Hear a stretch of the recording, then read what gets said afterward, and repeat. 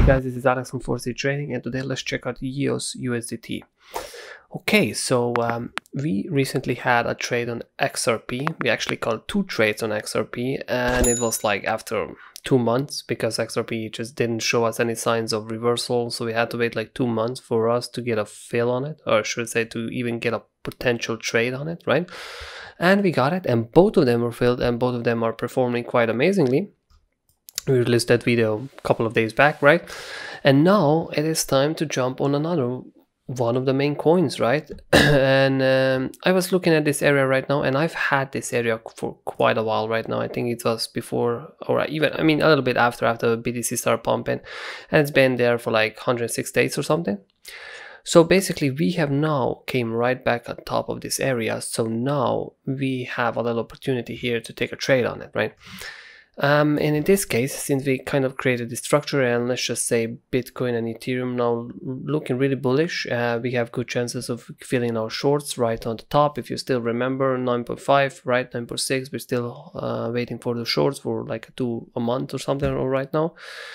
Um, so right now at this area, I'm gonna make it just a little bit higher.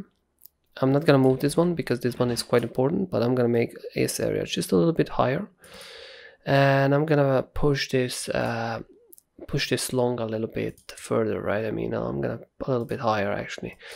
Uh, let's just see what kind of stop are we dealing with. We are dealing here with 3.5% stop which is pretty good stop. I cannot be a hater.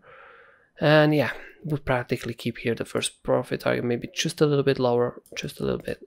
First profit target and then the, uh, the second profit target. And then obviously like we always go if it breaks it, we go to fill it in again. There's no point in having a third profit target here, although it can break out, right? Um, so yeah, probably if the BTC is going to continue uh, to pump like this, hopefully it won't go uh, past 9.6k. That would be kind of that would I kind of screw up the things again.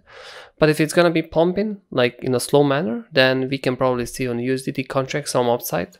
So we will have to go a little bit aggressive on some trades, uh, right? So we don't miss them. But you know, we already got a couple of them out, and we will probably do a couple of them more this week. So we'll see what happens, right? So keep following us, guys, and yeah, thank you for watching, and see you next time.